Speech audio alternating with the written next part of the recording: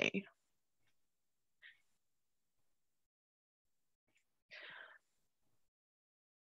Okay, can you all see my screen okay? Yeah. Yep. Yes. Awesome. Okay, so good morning, everyone, and thanks so much for joining. My name is Caroline Stivers, and I'm Operations Manager of Kentucky Commercialization Ventures, and will be hosting us today.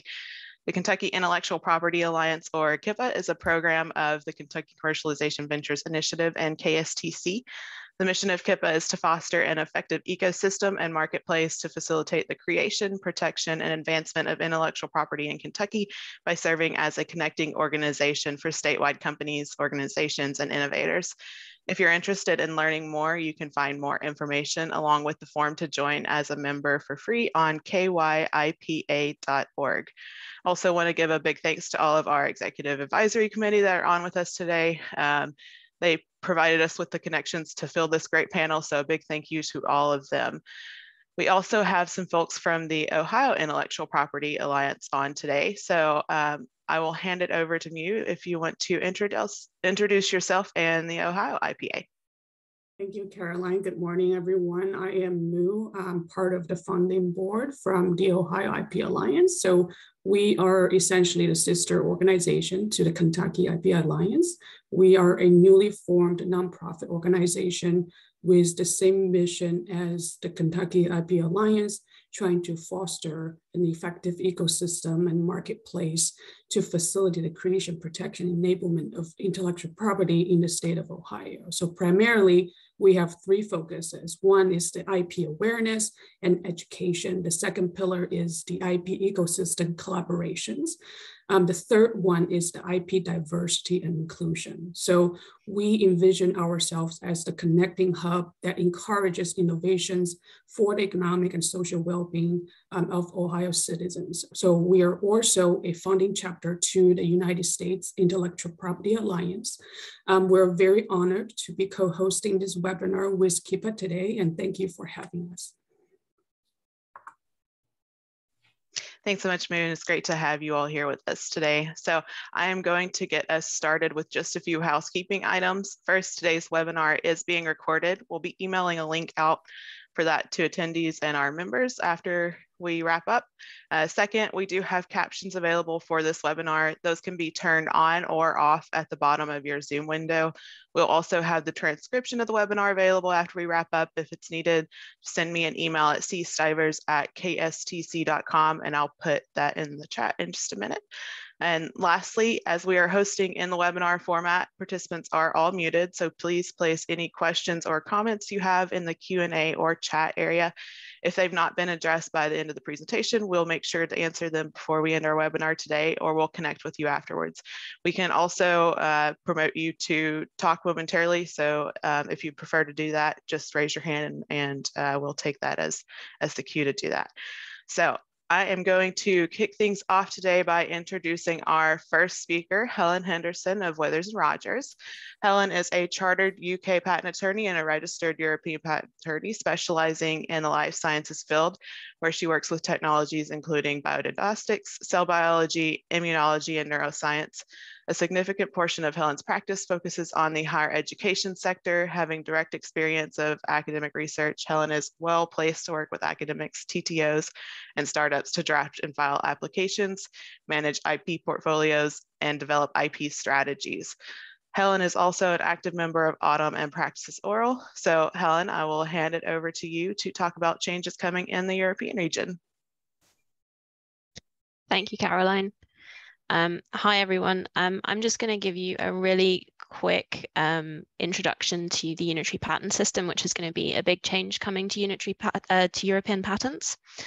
Um, this is a huge topic um, and I don't have a lot of time today. So what I'm going to really try and focus on is what you need to know now. And I'm going to go quite quickly. So feel free to follow up with me separately offline um, if you'd like to know more about any of the points that I'm skimming through today.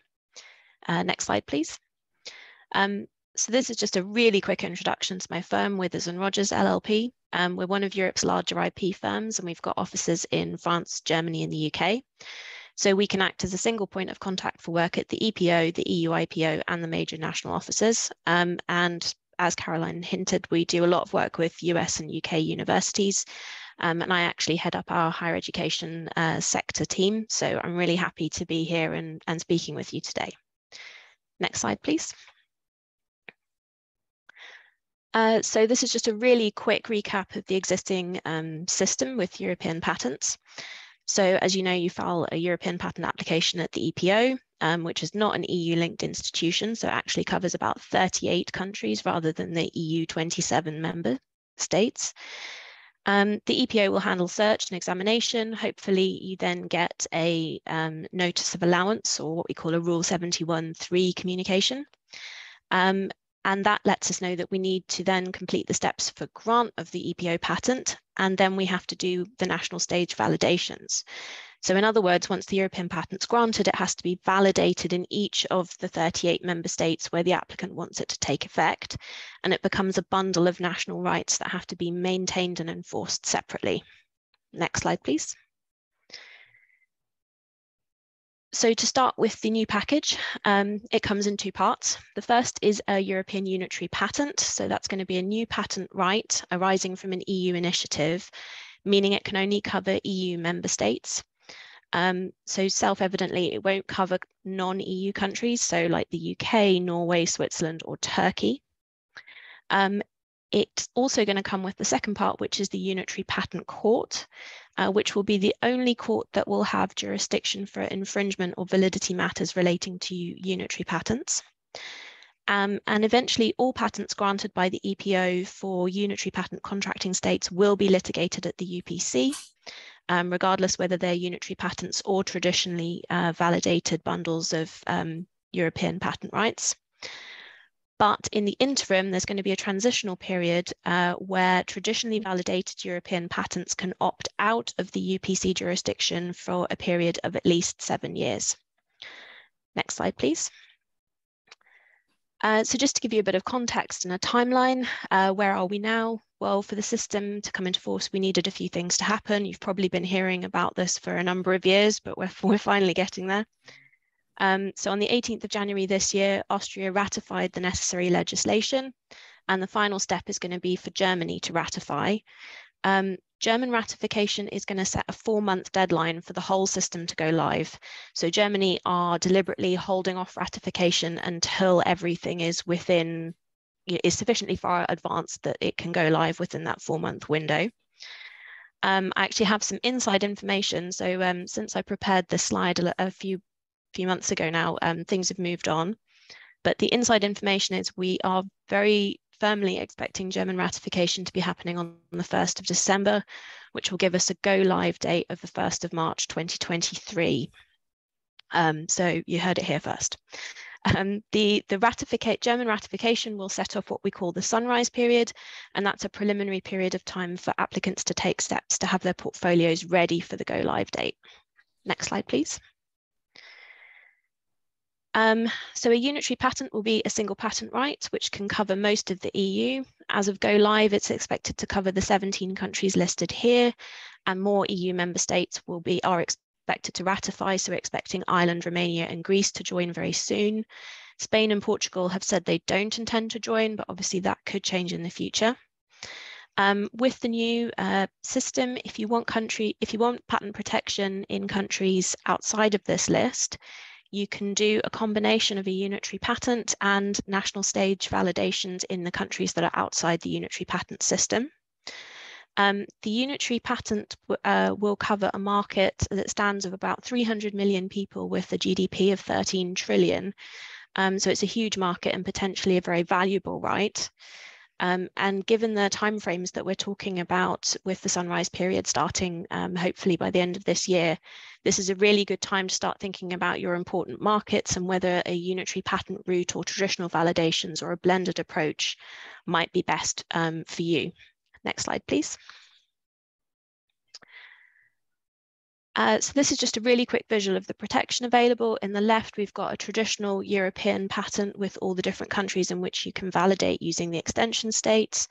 In the middle in dark blue, we've got the unitary patent as it currently stands. And then on the right in pale blue is the unitary patent um, with potential coverage of 25 of the 27 EU states. Um, the key point is that coming out of the EPO grant process, you could still end up with multiple patent rights. So you could have a unitary patent uh, covering the contracting states and then other national stage validations covering countries which are outside of the unitary patent system. Um, thinking about the unitary patent itself, it's got some well-known pros and cons.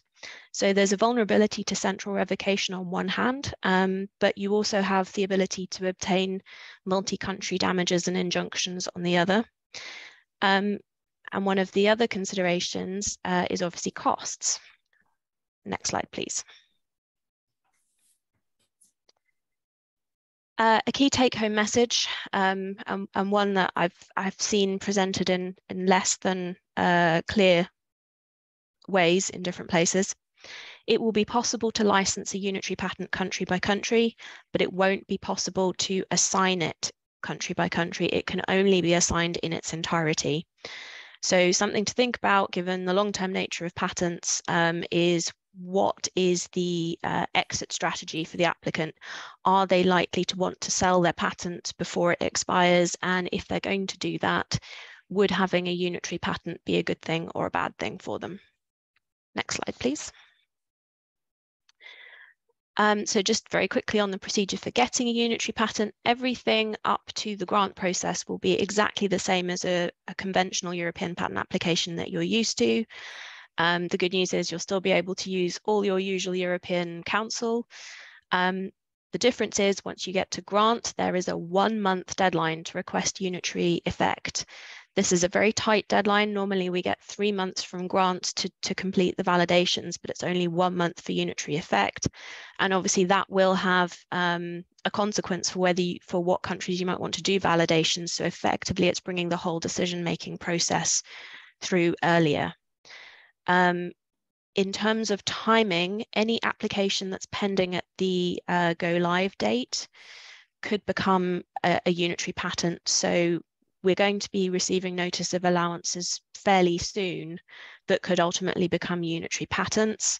And potentially, as of right now, it could be that there could be steps taken to delay pending applications if you want the unitary patent to be an option for them.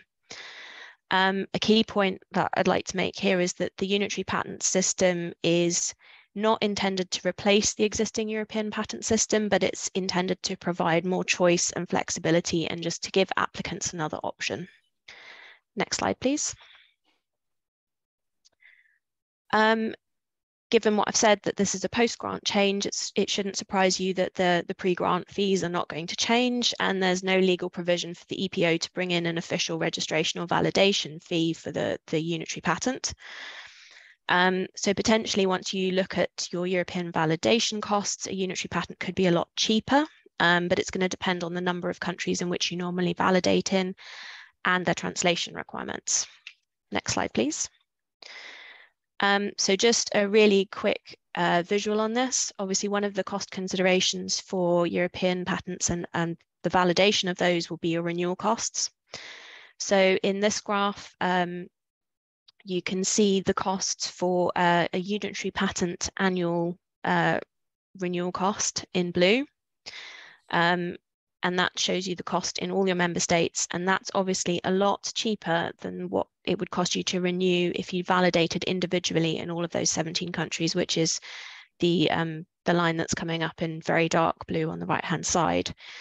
In practice, very few applicants would do that under the current system. They usually just validate in a small number of key countries. So really, uh, we think the balance point is going to be about four countries, and that's talking in the round, so including renewal fees and local attorney and translation costs. Um, if you're interested in costs and things, we do have a cost calculator in the firm, so feel free to contact me offline and I'm happy to go into that in more detail. Next slide, please.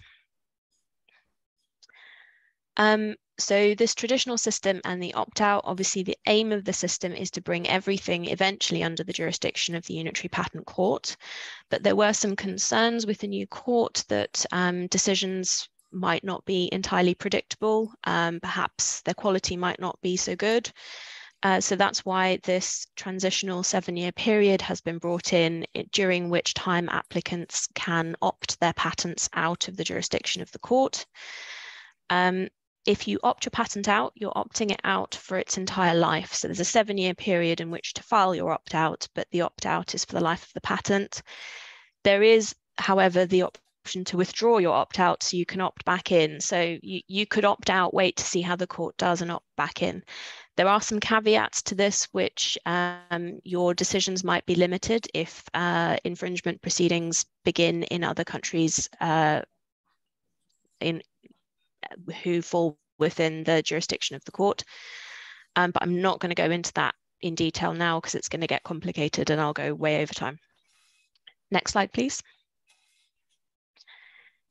Um, so during the seven-year transitional period, uh, this is just quite a useful infographic of how you might want to go about getting European uh, patent protection.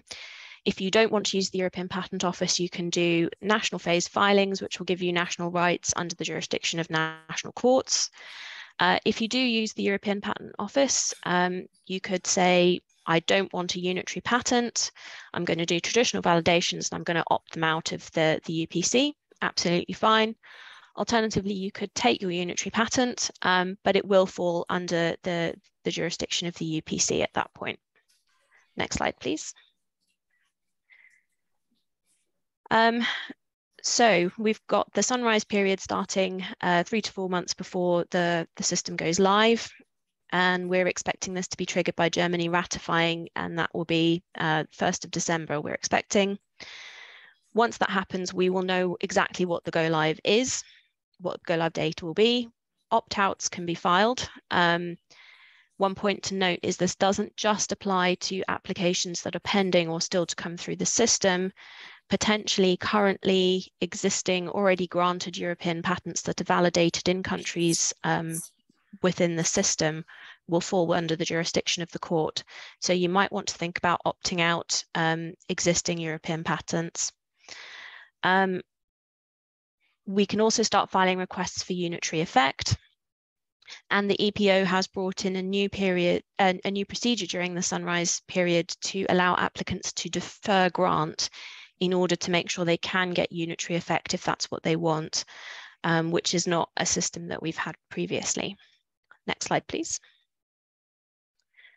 Um, and so this is just the timeline that I showed you earlier. Um, and I've added one extra thing, which is the four month period set in the EPO's notice of allowance. So the rule 71.3 communication.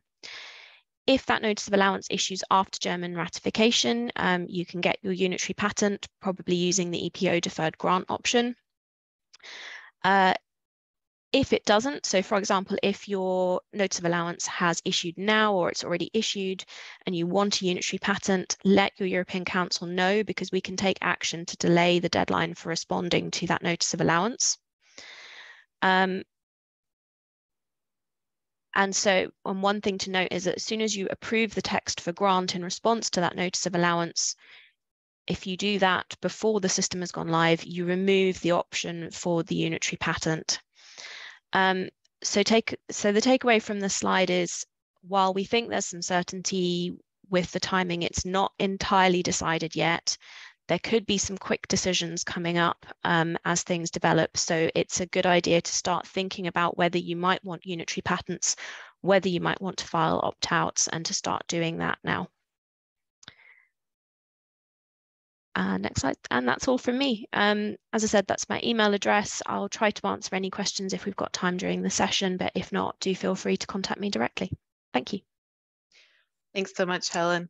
Uh, so just one note to the audience, we are going to hold all questions until the end just so we can get through everyone's presentations. And then, like I said before, uh, if we don't get to those, we will follow up with you afterwards.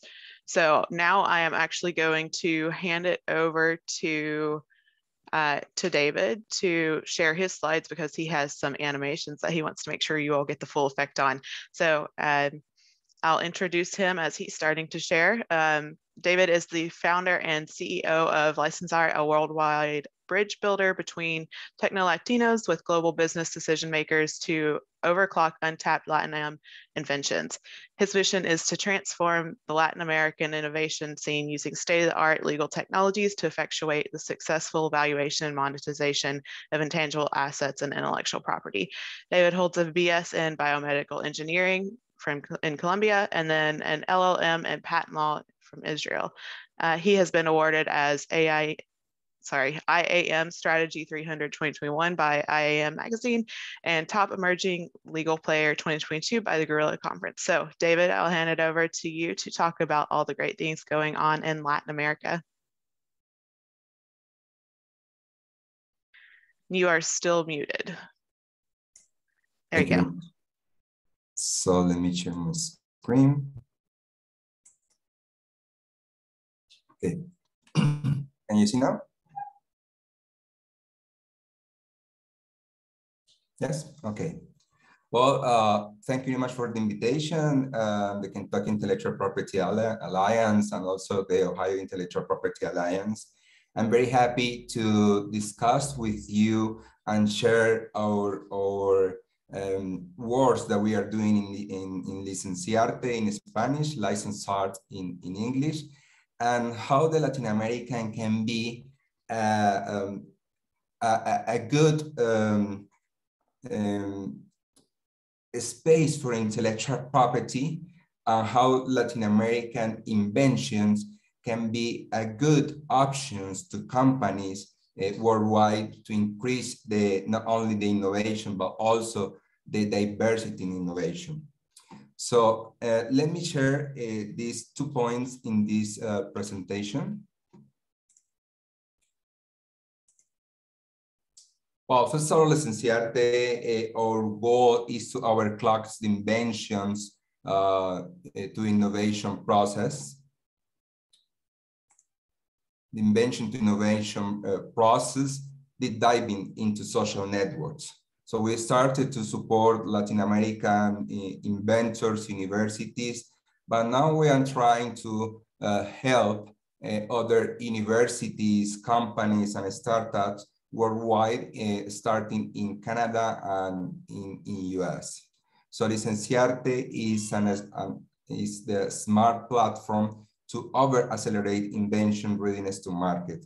So we are working not only the intellectual property for innovation, we combine the knowledge of uh, the engineering and technology that we need to um, create these new um, products, but also the uh, with a generation of the crowd knowledge or the wisdom of the crowd. Sorry, the wisdom of the crowd, we uh, can over accelerate the product market fit that any invention needs to get uh, in order to introduce to the market. So the first thing that I want to share with you is opportunities from global ecosystem from Latin American innovators. And first of all, I want to share the story of Michael Jackson. Michael Jackson uh, in, in the 80s, we are talking about MTV, the, the music uh, TV channel. In the 80s, at the beginning, 99% of the, of the videos was just for, for white people. The, uh, the user always say, why don't you have people uh, with uh, black skin. And they say because uh, we don't we don't see person uh, or, or singers that are uh, very good to be in our channel. After Michael Jackson um, uh, show to the world the song Billie Jean and the video Billie Jean, and the rest was story. He breaks, he over the, the door to all black singer to be in the in the music industry and the new video uh, music industry. So MTV found the innovation in diversity with Michael Jackson. Almost 40 years after, uh, Dr. Andres Jaramillo was awarded as the best inventor from the Colombian Ministry of Science with his technology, SARS. It was a portable device to detect the SARS-CoV in just 10 minutes. I'm not saying that Andres uh, can be the Michael Jackson of science, but who knows? Andres is uh, the director of OMIC Institutes in Universidad Javeriana in Colombia, but also is a scientist in uh, California Institute of Technology. As Andres, we have a, a couple of brilliant in, uh, researchers and scientists working in Latin America, uh, working with uh, his peers or her peers in uh, most uh, in the top universities around the world.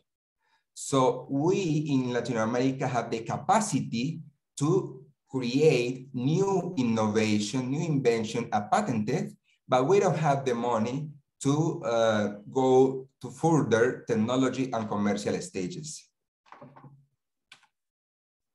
So we would like to uh, uh, focus on the concept of diversity and innovation that maybe are you familiar? This is a hot trend in the innovation uh, ecosystem.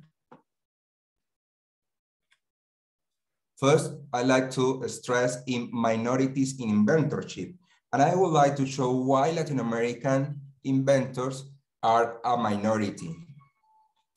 This is a chart this is a chart that shows the Latin American um, percentage in patents that came from PCT for international application uh, process to US. So just 1% of the inventorship in that patents uh, for a total of 480,000 patents in the last 10 years are uh, invented or have at least one inventor from Latin America. So we can say that in the inventorship, uh, Latin American inventors are a minority. So if you would like to support uh, the diversity and innovation and find new markets, new way to improve your products or the net blockbuster, uh, you can find uh, the diverse, uh, the, the, the innovation in the diversity as MTV did in a minority in Michael Jackson in that era. But other interesting point, not only the minorities in inventorship uh, can be analyzed here. Also, strategies uh, in diversity, equity, and innovation can be beyond the company walls. What I'm trying to say, uh, we did a, a research and we launched um, a book. Right now, this in Spanish, but would like to translate in English. It's, it's called BICAL.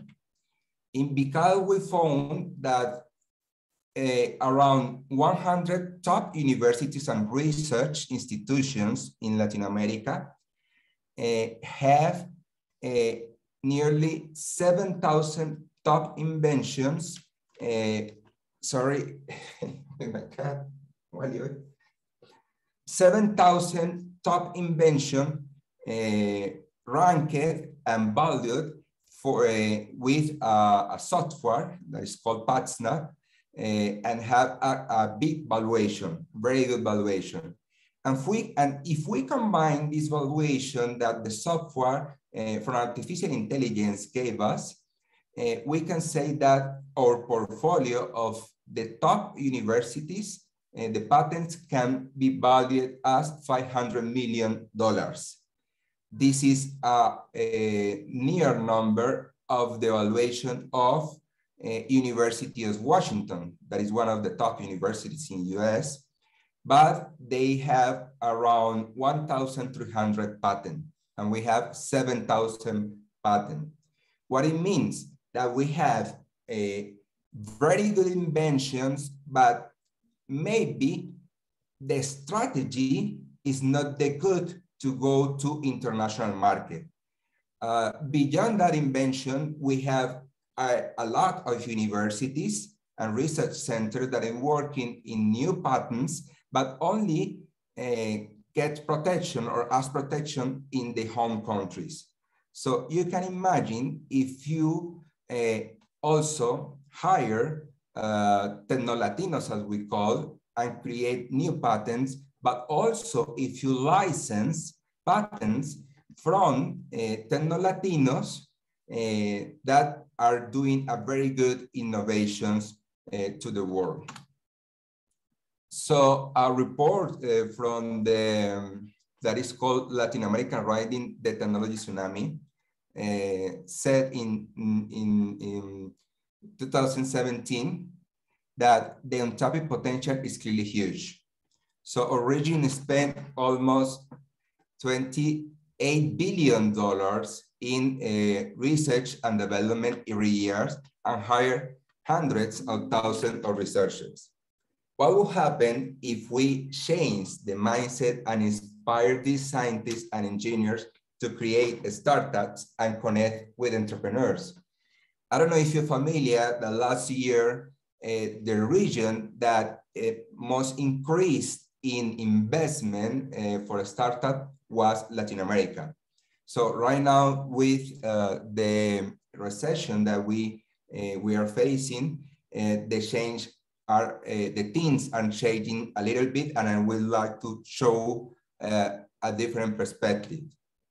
Well, um, for support these uh, companies, uh, startups, um, governments that would like to increase the diversity in innovation with a different view, uh, we signed the, um, the pledge, the pledge, the increasing diversity and innovation as a supporter, trying to uh, create a new framework showing that the diversity you can find also beyond your walls, beyond the walls of the companies, license, licensing patents from innovators that they don't have or they they haven't had the opportunity to pitch the, the, the new solution that never seen from the market. Uh, and this is our, our, our role, uh, first role of Licenciarte. Now we wa I want to stress the opportunities for global innovators into Latin ecosystem.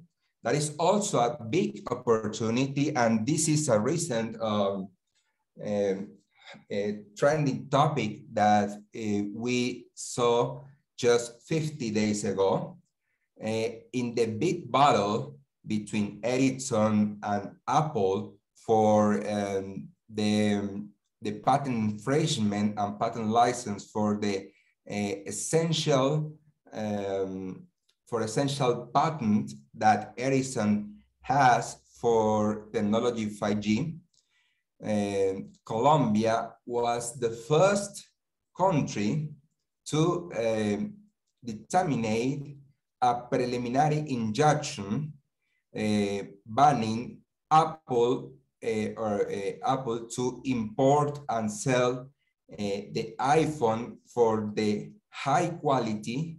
I mean the Apple, the, the, the iPhones, iPhone 12, iPhone 13, that has the 5G technology. And the, the, the judge says that Apple was banned to import, to sell uh, products in, in Colombia and an anti-anti-suit uh, uh, determination too. That means they cannot try to reverse this uh, uh, preliminary injunction in other countries and ask for the Apple that this is, I think, one of the most important uh, issues that says that says in social networks, uh, in promotions, that uh, to the user, the iPhone user, that they are not allowed to sell this kind of cell phones. And why is so important? Uh, sorry, so, I was just to say two about two minutes left to wrap up. Sorry. Okay, thank you. And why is so important this uh, case if only um, the Apple market in Colombia is less than 0.2%. It's important because Colombia is sending a message that if you would like to enter in Latin American market or even worldwide, Colombia is respectful of the patent right and the patent enforcement, and is very quickly to do these enforcements in, in, in favor to the patent uh, holders. So Apple is worried because as Colombia was the first country, uh, the next step can be Brazil to get this decision. And Brazil is a huge market in Latin America and also can push other countries to uh, uh, say the same verdict.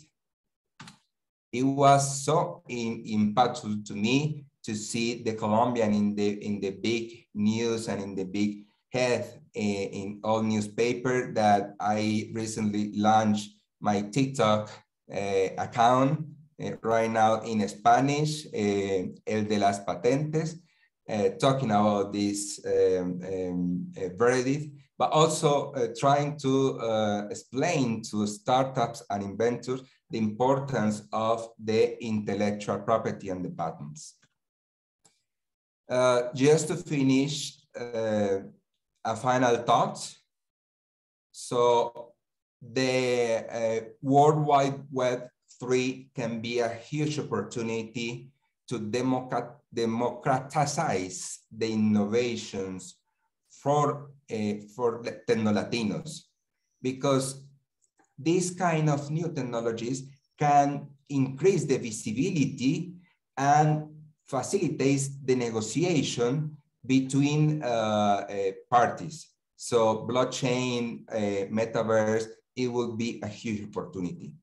Also, new ways to license can be important to uh, uh, for, for um, have this kind of uh, licensing from the Latinos to worldwide. for example, patent pools if we can gather, gather all the technologies from Latin America and different fields, uh, we can have uh, more power in order to negotiate. And the last point that I stressed before, Colombia is becoming a patent hub. After this decision, the assumption is that uh, we will have more um, um, increase in patent inside Colombia and the possibility to enforce the, the, the, the patent rights easier and faster than in other countries. So if you would like to, to know more about uh, our work, um, I'm happy to invite you to the uh, next less uh, uh, conference. I will discuss about Latin American invention, the untapped potential is clearly huge. And thank you very much. I'm happy to uh, answer your questions at the end of the session. Thanks so much, David. So we are going to, let me just reshare mine really quickly. Can you all see my slides okay? Or my screen? Yeah. And now my cat is is outside the door. Sorry if you can hear it. Um, okay, so next we have uh, Xinmin Ying with uh, beyond attorneys at law. So we're going to kind of get more into uh, filing for IP protection in China, in China, sorry. Um, is a patent attorney and judicial appraiser in China and registered US patent attorney. She received her PhD in cancer biology from the University of Texas MD Anderson Cancer Center at Beyond Attorneys at Law. Xinmin is in charge of the New York Representative Office. She's responsible for consulting overseas and domestic clients. She's released numerous articles in professional publications regarding intellectual property, biology, chemistry, medicine, and life sciences, and has spoken at many domestic forums and lectured overseas at various events. So I will pass it off to you, Xinmin, to discuss more about China's patent system. Yeah, Thank you.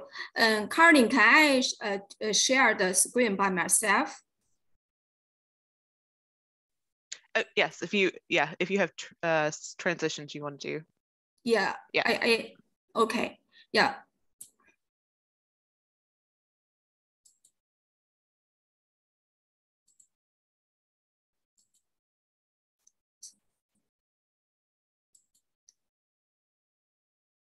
So how about now? Can everybody see?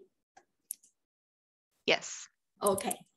And so the firm called BR Attorney at Law it's a Chinese firm. We have a, New York office here. So everybody, if you have any issues about the China IP law, anything, so you can uh, send us email, whatever. Yeah, call me.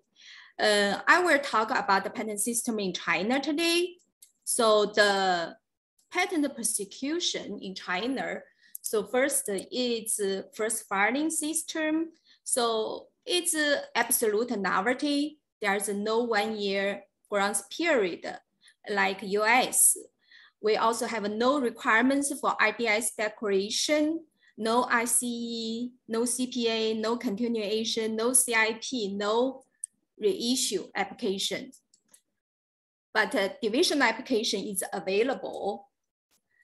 Uh, no patent, uh, plant patent, but a patent variety available for new plant variety um, for reject app application, you request re-examination. That's different meanings for re-examination in US. Um, so anyone uh, can request uh, invalidation before Chinese Patent Office anytime. There's no time window in China for invalidation.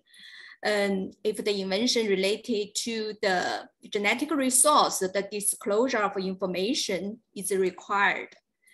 There's no best mode requirement in China. And for invention made in China, foreign filing license is required. So for PCT application, it basically it's the same, but the very unique uh, practice in China is translation is required for filing.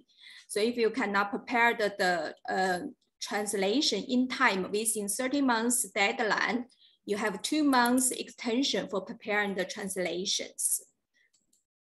So the tips are here is there's no request uh, for two months extension. You just pay the money when you're ready. And the Chinese translation is required in China. And the last one is all the actual claim fee are calculated based on the original publication of PCT. So in China, 10 claims are free. So each uh, actual claim will be uh, charged $25. And if you want to amend the claims, reduce the number, try to avoid the actual claim fee, it doesn't work. And the errors you want to, um, you made, you want to uh, correct, actually, it almost uh, you can do anytime for PCT application. Um, but if you choose in Paris Convention entrance, translation uh, errors cannot be fixed because the priority document has no legal effect in China. So give a, a, Chinese associate enough time to prepare the high quality translation, especially if you want to file the Chi, uh, Chinese application through Paris Convention. So the next topic is about utility model patents. This is very unique in China. We have three patents, type patents. One is invention, utility, and design patents. So utility model patents are the technical solution relating to shape, to structure, or their combination of the product. The protection term is 10 years from the filing date not allowable subject matter for utility model patents are process claims or the chemicals or the like. So those are not patentable for utility model patents in China. Um, the examination is kind of between the formality check and the you know substantive check. So those are the issues I list here for um, you know, examination for utility model.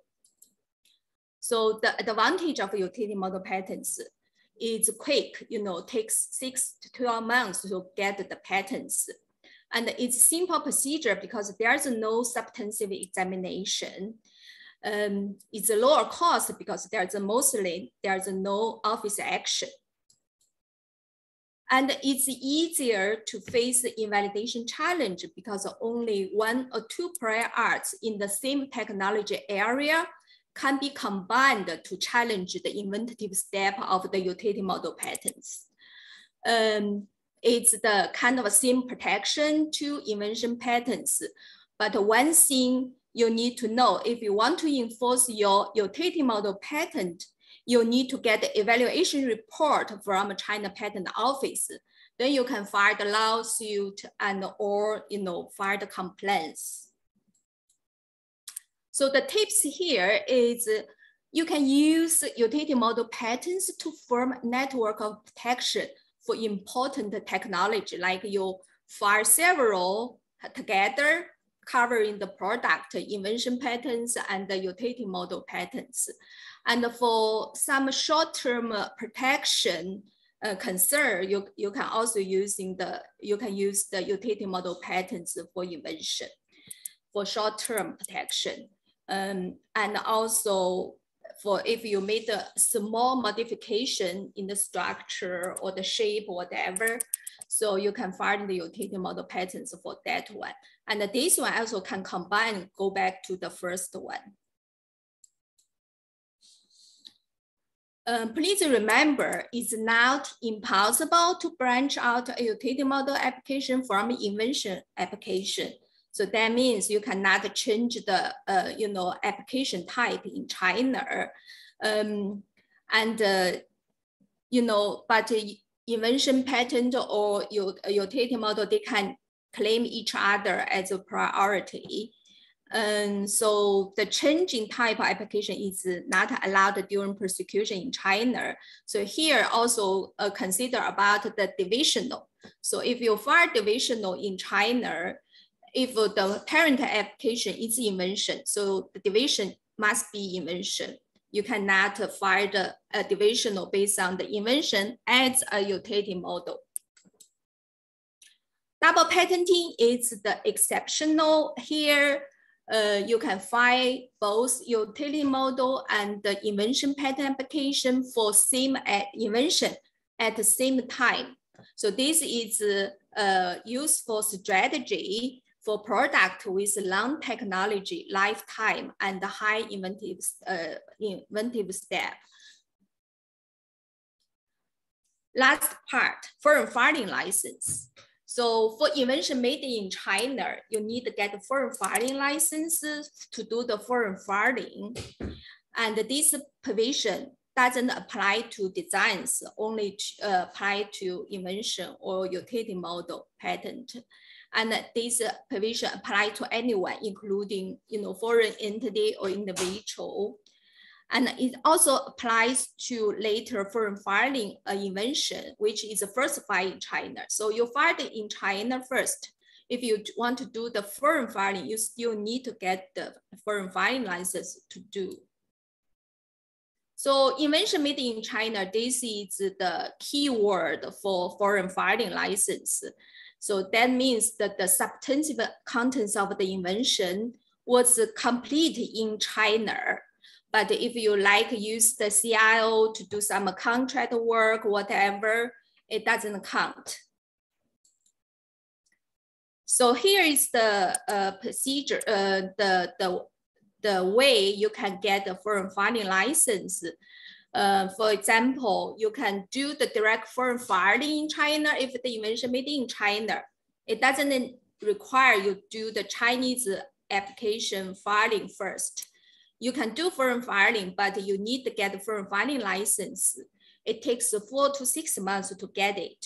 And also Chinese version of the specification need to submit to the patent office. But if you do file the China patent or uh, China patent uh, application first, so you it takes only two to four weeks to get foreign filing. It's much easier. That's why a lot of uh, company, foreign company, choose this way to do the you know the filings strategy to do the filings. If you file the PCT application uh, first, so there's no request needed for foreign filing. The foreign filing license will be um, issued automatically. So here is the things you need to do for the foreign filing.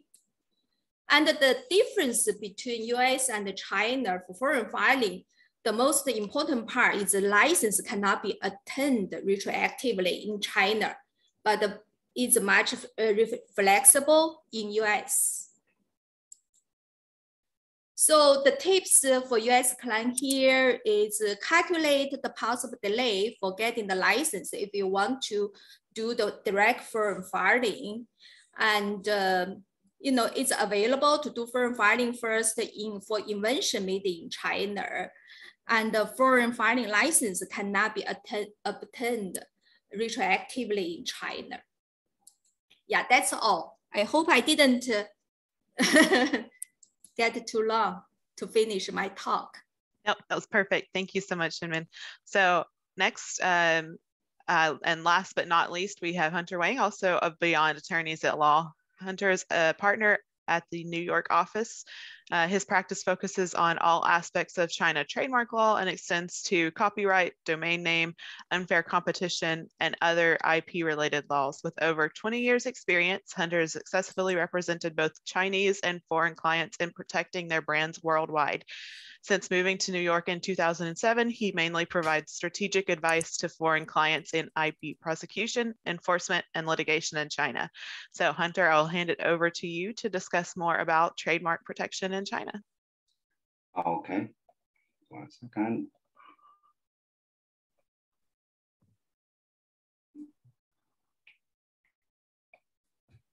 Is it okay? Yes. Yeah. Good morning, everyone. Today, I'd like to share with you trademark protection in China. As the time allocated to each of us is very limited, I'll go through my slides very quickly. My presentation will focus on trademark filing system, common issues faced by foreign applicants, and bad faith filings in China. China adopts the first to file uh, principle. No use is required unless a non-use translation is filed by a third party after the registration. China uses Nice classification, but under each class, there are a few subclasses. Protection scope is based on subclasses. So when filing the application, you are suggested to cover more subclasses. According to the law, the applied trademark should be distinctive. Uh, generic and descriptive marks are not allowed. Suggestive marks are okay, uh, but uh, as you know, the line between a suggestive mark and a descriptive, uh, descriptive mark is often blurry. For 3D design marks, they should be non-functional here are two examples. The first one was refused and the second, uh, the second one successfully registered. For trademarks uh, using standard characters, the basic rule is, uh, for, is a minimum of three letters.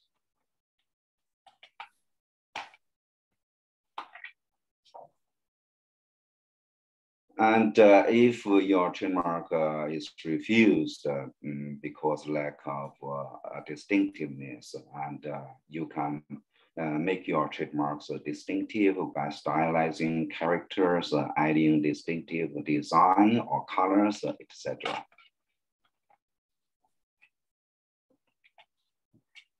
It is possible for a trademark to acquire distinctiveness through use in China. The first one failed to register and the second one was success, successfully registered.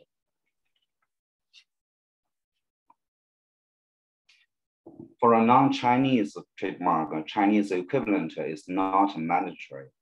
And uh, we usually use uh, translation, transliteration, or combination of the both to create uh, a Chinese equivalent.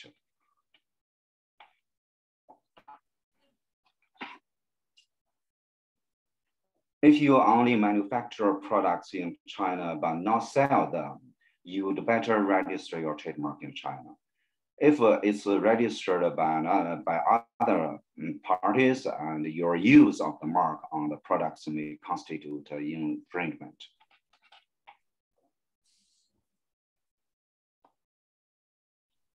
If you have registered your trademark uh, but not sell products in China, you are suggested to refile new application for it every two to three years to avoid non-use cancellation.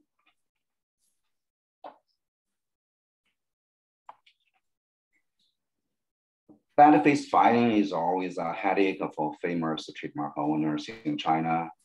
Uh, trademark squatters always copy or imitate famous trademarks. Here are examples for Adidas. And also famous trademarks uh, are also registered on related but not uh, uh, similar goods or services. For example, if you have a famous trademark in class 25, and the trademark squatters may register them in class uh, 18, class uh, 14, class 3, etc.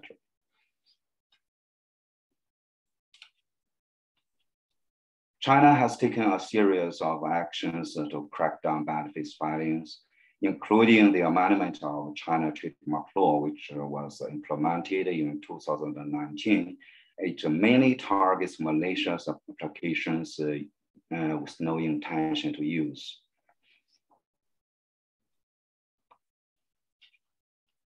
Authentic trademark owners may file opposition, invalidation, or non-use cancellation against bad faith filings. But uh, the most efficient way is to file defensive applications for their own trademarks as soon as possible.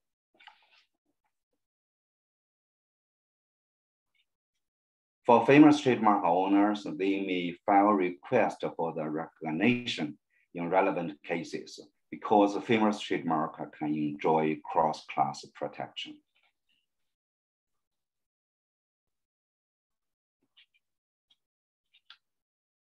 Trademark owners may take actions basing on, basing on the following legal grounds. And uh, when you take uh, actions, uh, you may collect evidence to prove uh, the applicant is your agent or representative, uh, the application was filed without your authorization, or the applicant has a contract, uh, contract business or other relationship with you, and also the application infringe your existing prior rights, uh, trade name, copyright, etc.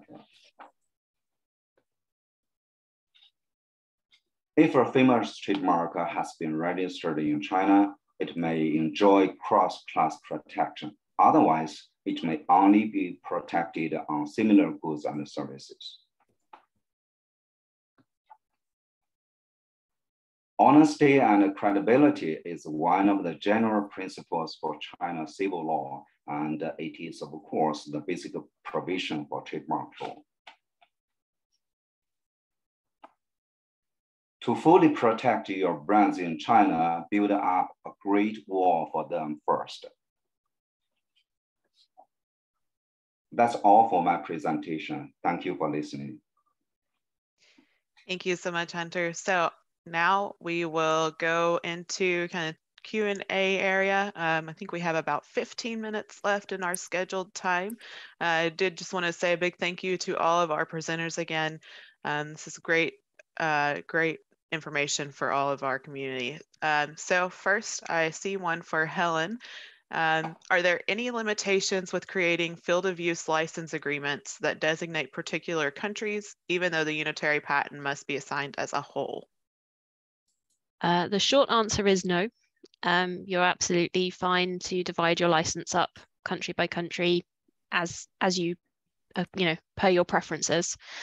Um, there might be some complications in terms of how things might be enforced and the way the regional, um, the sort of the uh, yeah regional and local divisions of the the unitary patent court work, um, but that would probably be a much longer and more complicated uh, conversation. But essentially, you can license country by country and it'll be fine. Um, but there might be some things to think about in terms of how you word some of those agreements.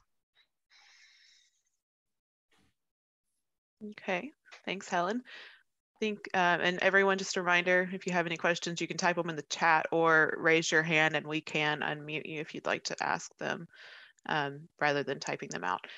Uh, the next one I see is also for Helen. Um, can an applicant slash patentee opt out before the sunrise period for the UP, UPC begins, or must they wait until sunrise begins? Um, we'll need to wait until sunrise begins, um, but it's good to start making those decisions now. We're expecting um, quite a big rush of opt-outs to be filed once the sunrise period starts. It is possible to do them in bulk, so it so sort of multiple patents can be be opted out in bundles. Um, so yeah, definitely start thinking about it and start engaging with your European Counsel so that they can be primed and ready to go.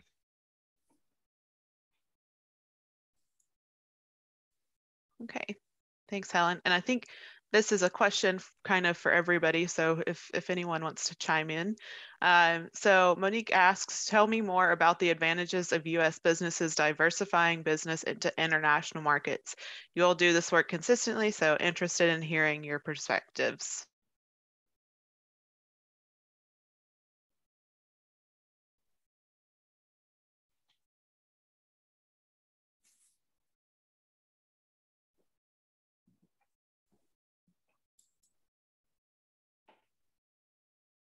No, no takers. um, I, you know, I think from a European perspective, is it's there are big markets out there, and I think that applies to a lot of the other countries and a lot of the other regions that we've been talking about, and there are good opportunities.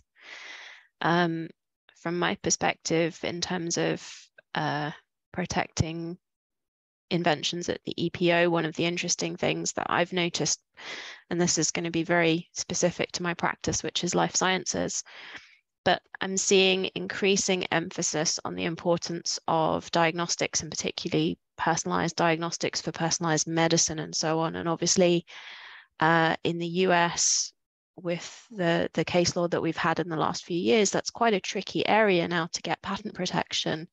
Um, we don't have those same problems at the EPO. We have very clearly established case law in terms of, um, you, you, know, in that particular space, and it, it's much more straightforward to try and get patent protection for these things. So it's partly it's access to additional markets and so on, which can be really beneficial, but it's also thinking about creative IP strategies and opportunities potentially to protect things in different ways in different countries and to take advantage of the differences in, in the international practice that we see, I would say.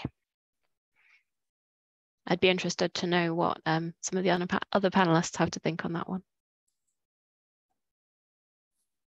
Yeah, I I talk a little bit. I talk a little bit about the China, Chinese market. So of course, China have a you know 15 billion uh, million uh, 1.5 billion people. it's a huge market. Yeah. So, um, but I found a lot of issues for, uh, you know, US company uh, try to do business in China. So some of, the, of them cannot protect them, uh, you know, uh, very well. So like they make uh, uh, you know, choose the manufacturer in China and work with the uh, partner and didn't uh, register their mark, didn't, uh, you know, apply the patents cover their product. And finally, you know, uh, you know, relationship broke up and uh, the Chinese company actually register the mark and get the design patents or whatever. And they can get big troubles, they have to do a lot of you know actions to uh, cancel the trademark, to invalidate the trademark, to invalidation the, the patents. If they don't do that, so they, they will cannot get into Chinese market anymore. So that's actually give us a lesson. If you want to do business in China, first of all, protect yourself very well and uh, register trademark, uh, uh, file the application covering the product, and especially, you know, make the agreement in details with the Chinese partners. So those are very important point taken for the US company. David, did you have something to add? Yes, well, uh, thank you uh, for all panelists. I learned a lot about um, Europe, Asia, and different ways to protect intellectual property that I think Latin America needs to learn. I just want to add uh, two points. First, uh, one that I forgot to tell you. Uh, we are living in um, in in amazing uh, days. Somebody saying, um, we are uh, have some um, limitations for the importation of raw materials um, and foods for the uh, Ukrainian and Russia war, um, also for the pandemic, and we are also live in this kind of, of issues. So in Colombia, for instance, the new government that will begin in, in, in few days they would like to increase the, the national production for some um, uh, foods and raw materials that before we imported, for instance, from Russia. Uh, so I think it will be a very good opportunity for patent holders in developing markets trying not to uh, sell the products in Colombia or in Latin America. Instead of that, trying to license the, the patents to uh, the national or the local uh, uh manufacturer and create um, small capacities to produce local productions. So this uh, phenomenon is called from the globalizations to localizations. That it means trying to create the products in each country. I think it will be a trend in the next few years for the limitation for importation that we will have uh, recently. And the second point that I want to highlight is uh, for sure we need to increase in Latin America our, our base of clients or users. In all Latin America, we are uh, roughly 600 million people, but we have uh, various countries we, that we don't have this kind of uh, European, um, the European Patent Office. And I think, I believe that a unitary patent for instance, we cannot say for all Latin America because I think it's quite difficult, but Colombia, Ecuador, Bolivia, uh, and Peru, we are in the same com uh, Andean community and we have the same patent law, but every country uh, manage his its intellectual property.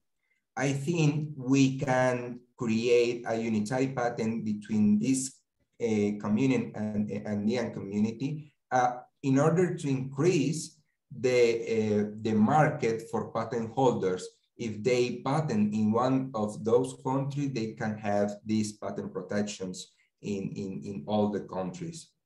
In addition, I also, um, in my master thesis, I, I worked about uh, the utility model and how we can improve this important uh, uh, patent protection for incremental uh, innovation.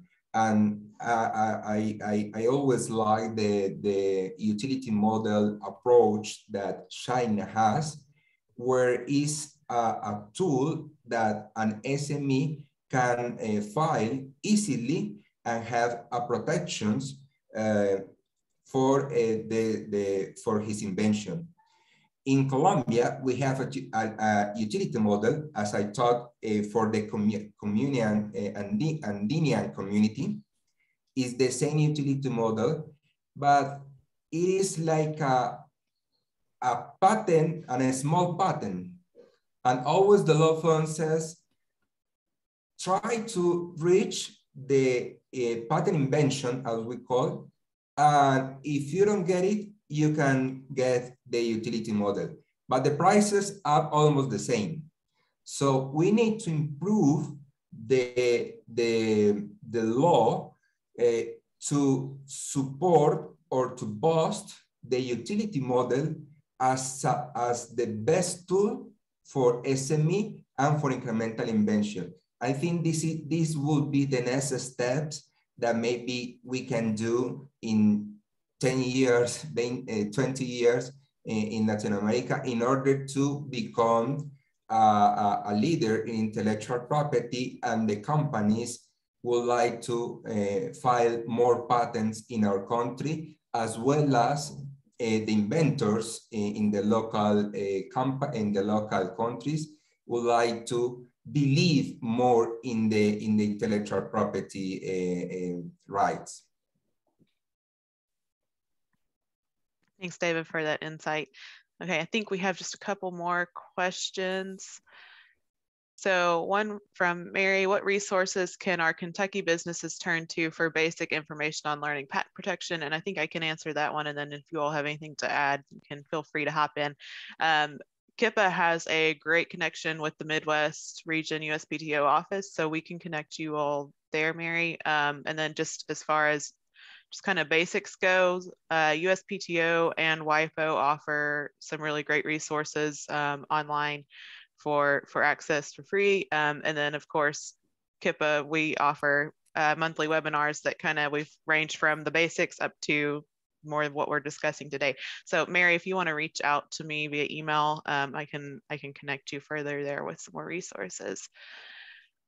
Um, and then the next one I see is from Monique. So uh, the US IPA and its affiliates are becoming more intentional about sharing how to become a professional working in innovation.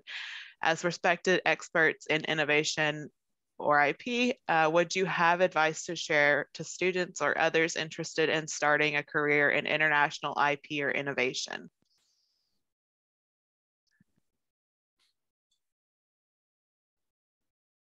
I would say networks is a really good starting point. There are some really great ones. Um, so one of the ones that I belong to is AUTM, uh, which is obviously your one of your US networks, but it's a really great place to meet people both within um, you know the, the ecosystem in the US, but also there is a lot of international pull at the conferences. Um, and a lot of crossover between AUTM and, and the UK equivalent uh, organization, which is called PraxisAuril. And I know we had um, quite a few people from from Kentucky over at our annual conference recently. Um, I definitely saw a few familiar names on the um, participant list, and I think that's you know meeting people at these sorts of um, events that are hosted by some of these networks is just a really great place to start um, finding out a bit more uh, and about what people do and what the opportunities are because there are a lot. Um, yeah, and I think Megan's just posted a, a link link to ASTP ASTP Proton, which is the um, European equivalent as well. So yeah, net networks are a really great starting point, I think.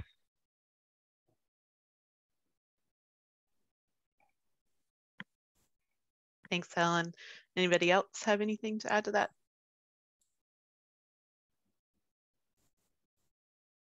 Okay.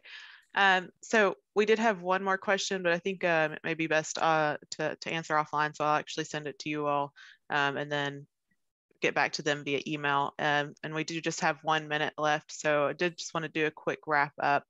I just wanted to say thank you to everyone for joining us today and a big thank you to all of our presenters for joining us and to the Ohio Intellectual Property Alliance for co-hosting. Um, this has been a great informative session um, and we really appreciate all of your all's time. Um, just as a quick plug for our next event um, and save the date, on August 24th, we'll be hosting our first hybrid in-person event at Zoeller Pumps Center for Excellence in Louisville. Uh, there will be a discussion on how to strategize around filing of international IP in your business, and um, we'll kind of kind of dig more into into the strategy side of things when you're looking at filing for international IP. So be on the lookout for the invite uh, for that in the next few weeks. If you won't be able to join in person, we are hoping to stream that. Um, so watch for both.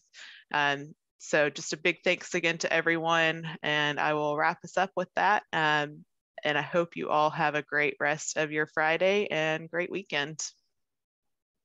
Thank you all so much. Yeah. Thank you. Have a you. good one. You all. Have a good day. Bye-bye. Bye. Bye.